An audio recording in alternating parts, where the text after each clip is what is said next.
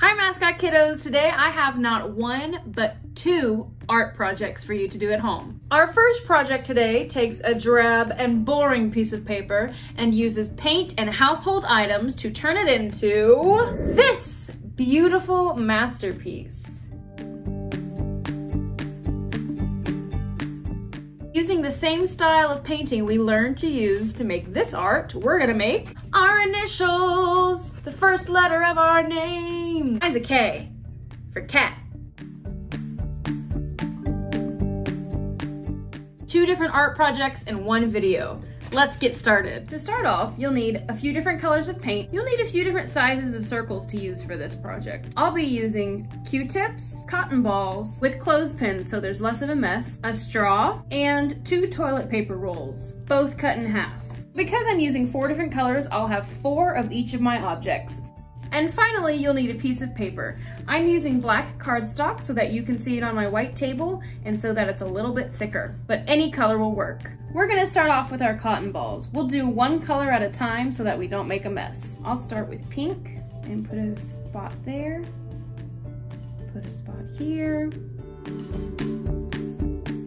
Next, I'll do a couple of teal. One, two. Now I'm gonna do orange.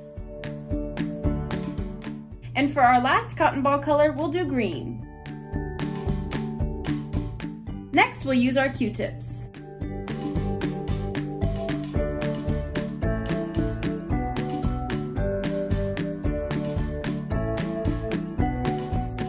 It's already starting to look pretty cool. Now I'm gonna move on to toilet paper rolls. With these, you'll wanna make sure you cover the whole rim, like this.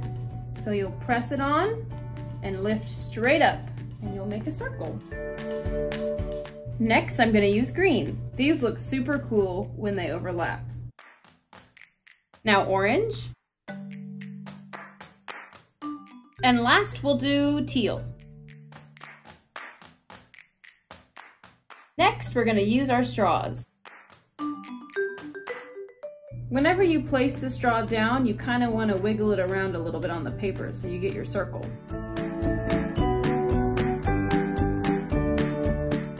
Each print of the straw you do will probably look different from the other ones, and that's why it's so cool. We'll finish off with green.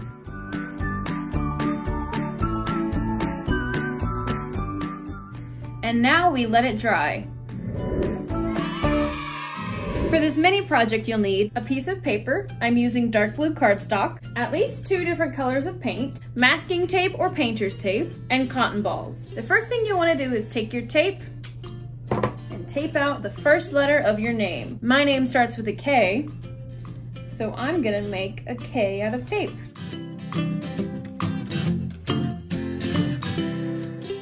So now I have my K. If the letter you're doing is round, you can use lots of little pieces to make it round, or you can make it more of a square shaped letter. I like to leave a little bit of tape on the end so I can tape it to my desk so that I know it won't move while I'm painting it. So for this one, all you're gonna do is take some paint on your cotton ball and dab it all over your paper.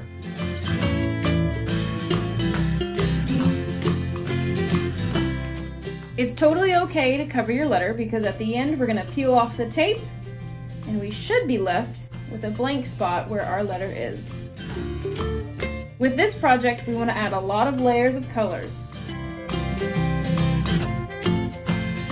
This to me kind of looks like camo, so if you wanna make yours camouflage, that would work perfectly with this.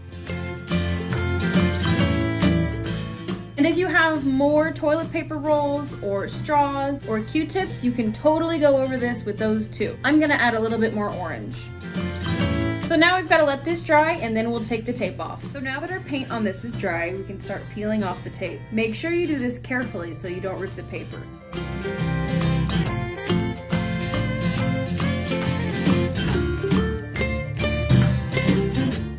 And there you go. Cece, what do you think? What do you think?